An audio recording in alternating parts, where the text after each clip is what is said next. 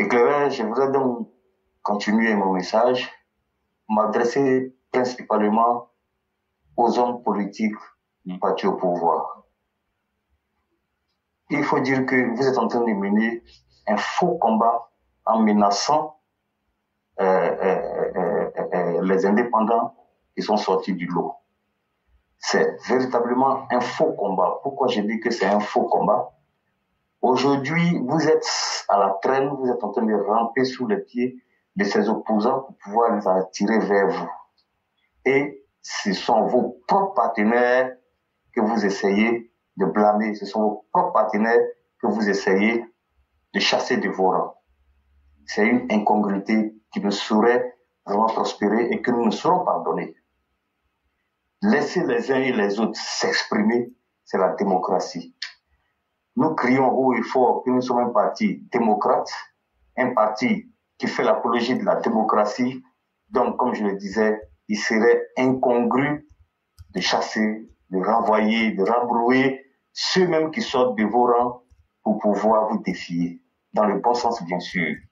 Et alors que vous déroulez le tapis rouge aux autres, aux opposants, qui vous dénigrent, qui vous insultent, qui parfois même vous ronnissent sans que vous ne trouviez mot à leur dire, sans aucune réponse de votre part. Non, non, non, nous ne serons accepter cela. Aujourd'hui, quand je dis vous menez un faux combat, notamment, vous signez des chèques à ses opposants, dans la journée, ils vous insultent, ils vous agressent. Mais cela ne vous sert pas de leçon. Est-ce que vous savez que nous savons que vous leur donnez de l'argent nuitamment À chaque appel, vous leur signez des chèques. À chaque appel, vous leur faites des transferts d'argent, des centaines de millions. Mais quand il s'agit des vôtres, vous avez les yeux fermés, vous avez le cœur endurci. Ce n'est pas du tout bien, chers politiciens du RHDP, chers cadres du RHDP. Changez votre fusil d'épaule. Le combat que vous menez est un combat qui est déjà foué à l'échec. Je vous plains parce qu'aujourd'hui, vous n'avez pas la voix pour répondre à ces opposants-là. Je ne dis pas Mamadou Touré qui ces temps-ci donne de la voix. Il a même osé depuis un moment dire la vérité en soutenant que est-ce que vous savez, est-ce que toute la Côte d'Ivoire sait que les opposants ont dit de ne pas mettre au grand jour ce qui se disent notamment Mais il a pris son courage à deux mains pour le dire haut et fort. Et c'est ce que nous voulons. Ce qu'il vous demande notamment, mettez cela au grand jour. Cela va les ralentir. Ou soit ils auront deux choix. Soit ils ne vous demanderont plus rien la nuit, comme argent, sous peine d'avoir honte, ou soit ils vont arrêter les injures et les agressions contre vous. Voici les deux choix qu'ils auront. C'est tellement facile de voir cela de loin, mais comme vous êtes borné, je ne sais pas, ou bien vous êtes ensorcelé par ces opposants-là, vous pensez qu'en leur tendant la main, vous serez sain et sauf peut-être en cas de danger. Mais je vous le dis, les meilleures personnes qui pourront vous protéger en cas de problème, ne le souhaitez pas, ce sont vos militants de base que vous dénigrez. Ce sont vos militants de base que vous négligez. Et là, nous constituerons un jour un danger pour vous. Pensez que nous sommes des, nous sommes des, de, de, de, n'importe quoi, de moins que rien. Ne nous écoutez pas. Mais un jour viendra où nous nous et faire les décomptes. Éclaireur, je poursuis donc pour m'adresser maintenant aux opposants, en particulier le fils de l'autre que je n'aimerais même pas nommer. Vous savez, comme on le dit, l'adage le dit, tel père, tel fils. J'ai récemment écouté une de ses vidéos où il s'adressait au peuple ouais à Yopougon. Heureusement qu'il y a certains ouais qui ont compris cela, ce qui a fait qu'il n'y avait pas de monde à cette rencontre. Malgré le nombre réduit de personnes ou bien de ouais présents ce jour-là, il n'a pas manqué de faire sortir ce dont on pensait d'eux. Je m'adresse au peuple ouais. Ce ne sera pas la première fois et j'espère que ce sera la dernière fois.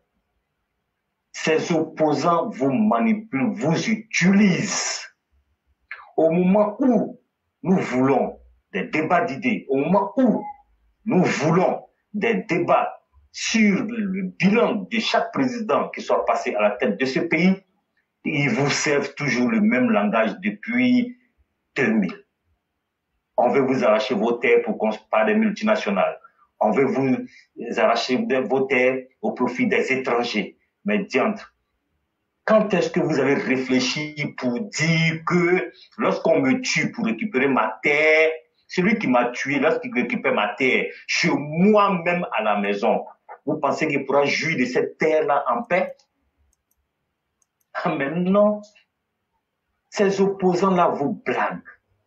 Ils vous mentent. Ils veulent que nous soyons, nous guerroyons pour qu'ils profitent de la situation.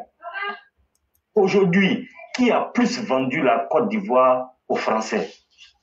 Mais c'est ton père qui a décoré l'armée française ici en Côte d'Ivoire, au vu aussi de tout le monde.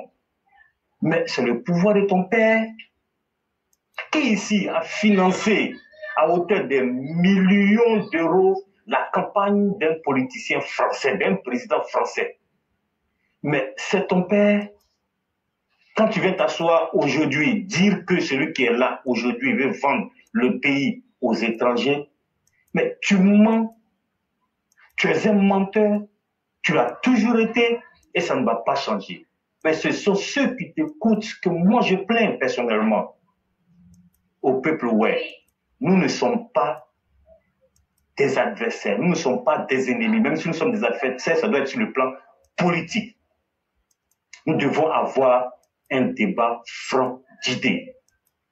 Si ce petit blanc raté vient vous dire, par exemple, que lui, son père, a construit des monuments, vous venez nous demander, vous venez nous le dire devant nous, et nous, on va vous rétorquer, par exemple, on va vous rétorquer que des monuments, ça ne sert à rien à un pays. Regardez ce que Monsieur le Président de la République a fait.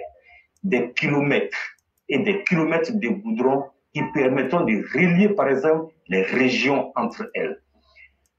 la prolongation de l'autoroute jusque dans la frontière nord de la Côte d'Ivoire. Regardez, par exemple, l'autoroute trois fois, deux voies de Ndotré. Regardez, par exemple, les différents échangeurs qui poussent. Regardez ceci, regardez cela. Ça, ça sert le pays et non des monuments. Comme ça, nous réussissons à vous convaincre. Si il vient vous dire que son père a dirigé le pays sans dette, nous, on va lui dire que les plus grandes démocraties, les, les pays les plus développés ont toujours usé de la dette pour se développer. La preuve, le pays le plus développé économiquement aujourd'hui, même si la Chine et autres sont en train de relever le défi, les États-Unis, c'est le pays le plus endetté du monde. Et les preuves montrent même que nous ne sommes même pas surendettés, que la Côte d'Ivoire supporte le poids de sa dette. Comme ça, nous discutons, nous réussissons à vous convaincre. Vous rentrez chez vous, vous réfléchissez à ce que nous nous sommes dit, et là, il n'y a pas de bataille de muscles. Parce que si on rentre sur le terrain de bataille de muscles, dites-vous aussi que vous aviez eu tout l'appareil de l'État ici depuis 2002 jusqu'à 2011. Mais on vous a défait. Et aujourd'hui, c'est nous qui avons la puissance de l'appareil d'État. Pensez-vous que vous pourriez au moins effrayer une mouche dans cette logique-là? Non. Réfléchissez un peu. Réfléchissons ensemble et mettons fin à cette marmaille de politiciens. Éclaireur, c'est ce que j'avais voulu dire ce soir. Vraiment, j'étais très heureux d'intervenir. Il faut que les uns et les autres se donnent la main pour faire barrière à cette machination des politiciens. Merci beaucoup, éclaireur. C'est ce que j'avais à dire si vous avez quelque chose à ajouter. Pas véritablement grand chose à ajouter, sauf que de vous dire merci. Continuons avec les messages de fraternité, d'amour et d'unité en faisant barrage à la forfaiture des politiciens. C'est la chose la meilleure. Et là, le RHDP, si je m'en vais rapidement, est devenu un peu comme un smartphone. On trouve toutes les applications pour vous relier au monde entier, mais en même temps, ça vous coupe de vos proches.